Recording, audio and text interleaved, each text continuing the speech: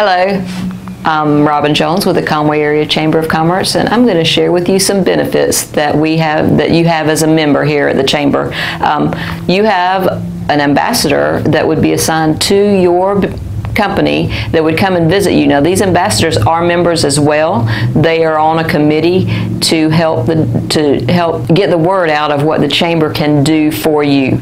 Um, they will come visit you and talk about what the needs of your company are and how the chamber can benefit you and what areas they can benefit you. Also, you have access to the Conway Chamber logo that you can put on your advertisements to demonstrate your commitment to the community as well as show that you are a member member of the chamber in this area. And there are a lot of people that will look for that. Make, make sure you take advantage of these two benefits, the ambassador program as well as the access to the Conway Chamber logo.